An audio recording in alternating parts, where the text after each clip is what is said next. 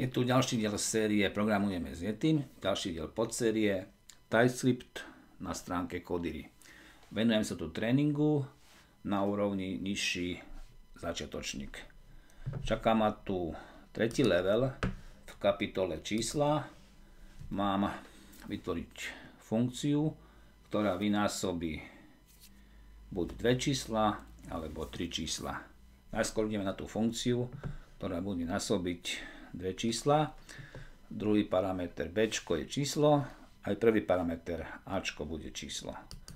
Potom vrátime výsledok toho násobenia. Násobenie je viedička, ako na kalkulačke. Máme vytvoriť funkciu, ktorá bude násobiť tri čísla. A bude číslo, B bude číslo, C bude číslo, aj výsledok bude číslo. Takže dvojbodka a číslo bez úvodzoviek, bez apostrofov, jednoducho dvojbodka a číslo.